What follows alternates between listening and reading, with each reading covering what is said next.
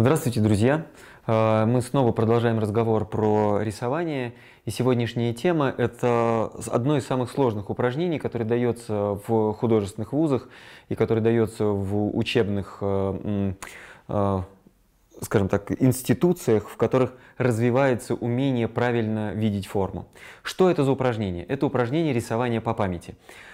И как оно выполняется? В большинстве случаев делается это следующим образом. Лист – который человек ведет на протяжении 4, 8 или 10 занятий, в которых он внимательно отрисовывает, допустим, человеческую голову. Человек проходит сложнейший путь от того, что он выстраивает местоположение носа, глаза, уха, он ищет местоположение всех-всех элементов, которые здесь есть. Потом он последовательно, анализируя эту форму, а, создает светотеневую структуру внутри портрета. И как только он сделал все, что он мог до основного предела требует анализа, насколько он понял то, что сделал. То есть, бывает путь, когда вы просто срисовываете форму, просто вы очень быстро перебрасываете глаза с модели на рисунок, с модели на рисунок, с модели на рисунок, и просто тщательно срисовали внимательно, если вы очень внимательный человек. Но что должно быть? Нужно, чтобы внутри вашей головы остались воспоминания о процессе ведения листа. И это проверяется как раз именно этим заданием. То есть как это происходит. Лист, который только что закончен, на следующее занятие, на следующий день, на следующую неделю, неважно, когда вы вешаете новый чистый лист. Этот лист вы полностью убираете, не смотрите на него вообще. Он не должен быть как подсказка, не должно быть модели, с которой вы это рисуете, вообще ничего. И вы начинаете полностью восстанавливать этот лист. Так вот, э, все, что вы запомнили, что было проанализировано, если человек точно проанализировал характер рисования брови, и если он точно проанализировал характер рисования носа, уха, э, все, что он делал, было в связи друг с другом, он с легкостью восстановит этот же рисунок, и тот рисунок, который вы делали 10 занятий, скорее всего, вы нарисуете за одно занятие. А, при этом на листе все, что было понято, тут же будет очень хорошо и ясно рисован. Если здесь вы шли через сознание, то есть вы э, сознательно действовали, то здесь это будет вылезать как будто бы из внутреннего вашего мира, и за счет этого все линии будут чуть более чище, штриховки будут чуть-чуть ровнее, потому что они являются всего лишь повторением того, что так долго осознавалось. Так вот, этот рисунок может получиться значительно лучше, звонче и приятней, чем все то, что вы делали в этом листе. Если же вы чего-то не запомнили или что-то не поняли, то в этом листе это просто не появится, потому что воспоминаний у вас не будет. Это то задание, которое выполняют в обязательном порядке все студенты или должны выполнять в обязательном порядке все студенты. Потому что когда человек рисует глаз, который он запомнил, он может нарисовать его по памяти много раз, потому что он помнит, как он устроен, как рисуется. Если человек запомнил, как рисовать губы, он рисует губы. Если запомнил, как рисовать ухо, соответственно, осознал форму, проанализировал ее, запомнил все завитки против завитки, соответственно, он тоже их нарисует. Но если э, этого анализа не было, соответственно, и не выползет ничего. Поэтому это задание, которое в обязательном порядке выполняется. Теперь второе упражнение рисование по памяти, так оно называется. Это когда человек рисует предмет, на который он смотрел короткий промежуток времени. Как это выполняется? Есть два способа. Способ более халявный. Это когда э, кто-нибудь позирует вам. Этот человек э, стоит, например, в профиль. Вы видите его профильную структуру, и он своим профилем позирует вам э, следующим образом. Он в профиль вы смотрите на него ровно одну минуту или там сколько хотите времени, договоритесь изначально, и дальше этот человек отворачивается от вас. И вы должны нарисовать то, что запомнили. Если в момент, когда вы на него смотрели, вы запомнили только линию лба с переносицей и нос, то дальше воспоминаний не будет. Это значит, что вы воспринимали портрет не целиком, а вы смотрели только на вот эту часть. И тогда вам придется попросить человека развернуться снова и восполнить воспоминания, которые есть, и понять, насколько точно вы увидели взаимосвязь одного предмета с другим. Самая острая система умение воспитать э, свою, свою память, воспринимать предмет сразу очень остро, это вот это упражнение. Поэтому если у вас есть такой э, человек, который вам будет помогать, поворачиваться время от времени, то это будет просто идеально, потому что вы заметите, что вы, допустим, запомнили теперь ноздрю, но не запомнили, как она привязана к глазам. Но если вы запомнили это, то, соответственно, эти воспоминания останутся у вас навсегда. Почему мы сейчас говорим об этом задании? Оказывается, человек рисует не то, что видит, а он рисует только то, что помнит. И поэтому мы тренируем именно воспоминания. Э, или тренируем нашу память для того, чтобы запоминать эти структуры. Это то упражнение, которое проделывается многократно. И каждый, кто э, выполнил эту процедуру при помощи своего друга, товарища, э, отрисовывая этот элемент, это просто прекрасно. Теперь усложняем задачу. Вы идете куда-нибудь в общественное место, э, вокзал, Макдо...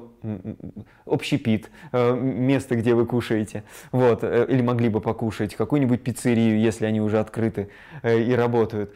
Что вы делаете? Вы садитесь таким образом, чтобы видеть очередь. Человек будет находиться в очереди или в момент, когда он покупает что-то, очень короткий промежуток времени. И если вы посмотрели на него, а он же шевелится, он же не знает, что он вам позирует, Поэтому, если вы на него смотрите и смогли запомнить только кепку, значит вы успеете нарисовать только кепку, и он ушел.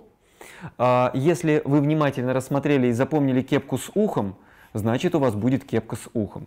Если вы запомнили его усы и его бороду вместе с кепкой, значит у вас будет усайбер. То есть вы будете понимать, насколько вы сконцентрированы в этот момент. Так вот, оказывается, внимание человека таково, что вы можете за очень короткий промежуток времени, практически несколько доль секунд, наблюдая, сразу одновременно запомнить и кепку, запомнить и лоб с челкой, и можете сразу запомнить и бровь, и глаз, и ухо, местоположение этого носа, вы можете сразу запомнить пухлость губ, и пухлость подбородка, вы запомните одновременно сразу все, если будете внимательно сконцентрированы на запоминании взаимоотношений.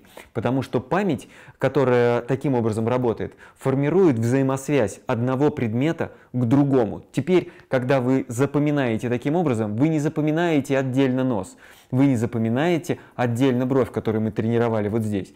Вы запоминаете взаимосвязь этих предметов друг с другом. Тогда и происходит великолепная память, стопроцентная, навсегда срабатывающая. Поэтому это самый удобный способ. Мы все, делая наброски в метро, делая наброски в общественном месте, запоминаем, как это устроено. То есть, если человек, например, едет в метро и э, смотрит мобильный телефон, соответственно, есть характерное положение руки, складок, положение ног, одна нога закинута на другую ногу, она болтается здесь и здесь, и вы запоминаете движение, если делаете короткий рисунок, тем самым позволяя себе сразу увидеть характер всей фигуры. То есть это очень важный момент тренировки э, воспоминаний. Это и есть рисунок э, по памяти, э, если угодно, второе упражнение. Теперь упражнение куда как более сложное – мне так кажется, это когда вы э, пытаетесь э, рисовать предмет по памяти, э, который не является человеком, то есть является предметом для вас абстрактным. Вот, например, если вы не любите рисовать кружку или не любите рисовать дом или церковь, соответственно, вы должны нарисовать именно этот самый сложный предмет. Если вы смотрите на кружку и внимательно абстрактный предмет воспринимаете очень точно, запоминая, как ножка прикреплена, какова толщина э, самой, самого стакана, сколько в нем желобков и выбоин. Это называется тренировка памяти. То есть, соответственно, вы на стол можете выложить несколько предметов. Например, поставить чашку, пусть лучше только кто-то сделает за вас, положит яблоко, положит салфетку, которая здесь будет. Может быть, это будет какая-то книга. То есть это несколько предметов, которые будут лежать на столе. У вас будет минута на то, чтобы рассмотреть этот предмет, и потом э, эта вся часть убирается из вашего взгляда, ну или вы уходите, и вам нужно зарисовать все, что вы видели. Точно так же можно показать фотографию какого-нибудь места, и вы должны ее нарисовать. Это должен быть пейзаж или еще что-то в этом духе. Зависит от того, что вы запомнили. То есть, если перед вами церковь э, с куполами, которые вы видите. Соответственно, вы запоминаете ее. Но если вы смогли запомнить решетку ограды, которая была здесь, запомнить э, людей, которые стояли перед ней, запомнить деревья, которые росли сзади, запомнить тропинку, которая шла сюда вперед, машины, которые здесь стояли. То есть это система запоминания предметов и концентрации на структурах, которые приводят к нас к следующему развитию. Для чего нам нужен рисунок по памяти? Это когда мы начинаем внутри композиции сразу чувствовать пятно пустых пространств, пятно предметов, которые являются для нас вторичными и неинтересными. Поэтому, когда вы перейдете после этого упражнения к рисованию портрета, вы вдруг по-другому начнете видеть, например, э, у него э, будет галстук или пуговица, или это будет молния. Вы вдруг неожиданно увидите рваную или испачканную одежду, количество застегнутых или не застегнутых пуговиц, качество узора э, на э, поверхности этой тюбетейки или то, что будет у человека. Вот, вы начнете замечать все остальные структуры прыщичков или структуру э, ткани, которая будет формировать не только одежду, но и там еще что-то. Вот, поэтому очень важно эти упражнения выполнять и тренироваться чем чаще, тем лучше. Мы, конечно, ленимся, и никто этого не делает в большинстве случаев. Но если вы хотите резкого прогресса и умения прям вот стать прям невероятным художником, то это упражнение для вас. Поэтому увидимся в следующих видео. Я надеюсь, что вы сильно продвинетесь вперед. До встречи, друзья!